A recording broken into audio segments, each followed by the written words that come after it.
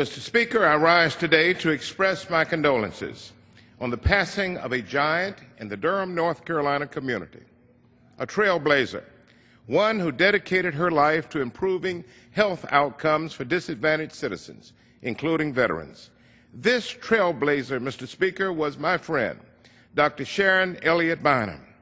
Sharon passed away on Sunday, January 3rd, at the young age of 58 two days before her 59th birthday. We lost this giant far too soon, but not before she revolutionized the delivery of care for those in need through the founding of Durham's first freestanding comprehensive health CAARE clinic called Healing with CAARE. My first visit as Durham's congressman was an enlightening visit to care. I saw Sharon at work. I saw paid staff. I saw dozens of community volunteers.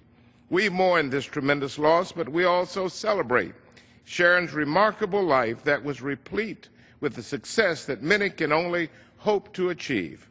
Born in Durham, Sharon Elliott Bynum was a graduate of Northern High School, Durham Technical Institute, the Watts School of Nursing, and my alma mater, North Carolina Central University. She also received a master's degree and PhD from Victory International College.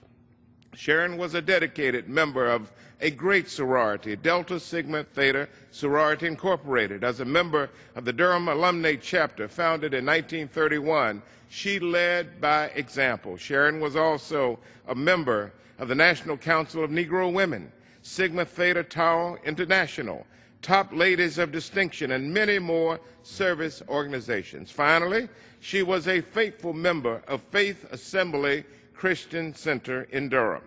Dr. Elliott Bynum attracted, was attracted to the field of nursing when she, at the age of 16, began volunteering at historic Lincoln Community Health Center. Sharon's volunteerism, Mr. Speaker, motivated her to pursue a nursing career. And so in 1995, Dr. Elliott Bynum and her late sister Patricia, Pat, she called her, founded Healing with CAARE Incorporated.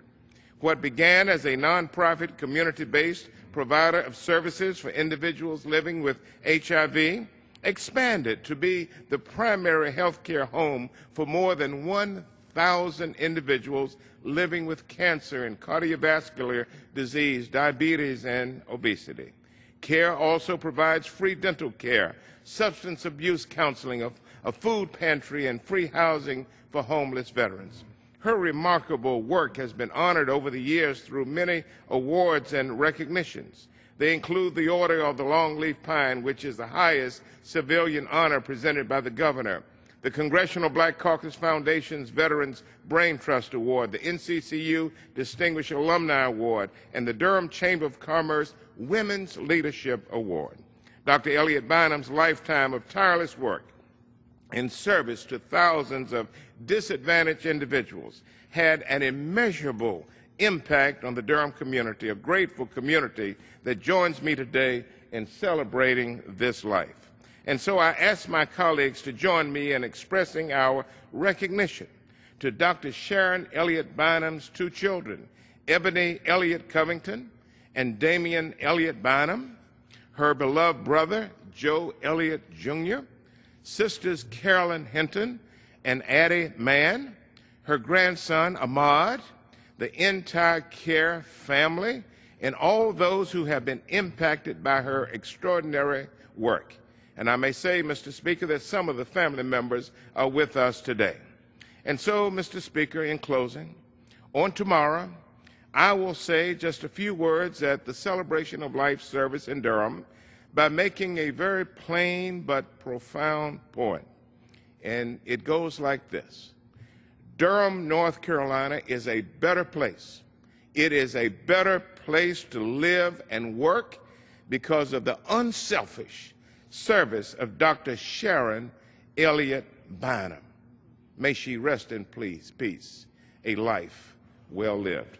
Thank you, Mr. Speaker. I yield back. Gentleman yields back.